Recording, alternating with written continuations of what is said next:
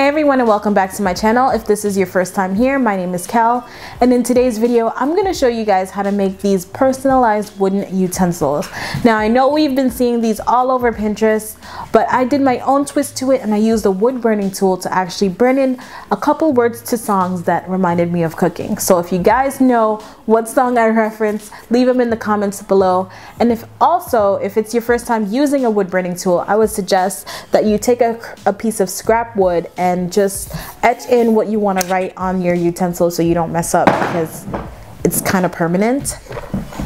Hi! Hi! We got a special guest right here. This is my son Donald.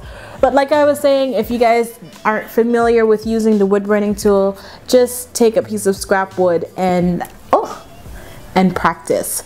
So if you guys are interested in knowing how I created this, just keep on watching. Right? Say just keep on watching. I placed painter's tape about halfway from the top of the utensil. To make sure all of them are even, I took the untaped utensil and placed it side by side with one that has tape on it. Next, place the tape on and it's as simple as that. You guys already know I like ombre, so I mixed some paint together and began painting the handle.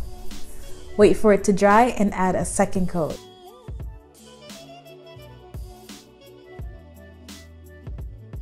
Before it's dry, remove the tape and set it aside to dry.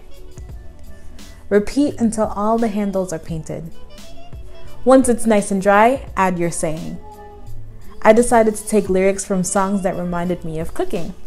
Let me know what songs you think I quoted in the comments below. Take a wood burning tool and begin tracing over the letters. Once you're done, I'd recommend spraying a food safe sealant to protect the color and you're all done.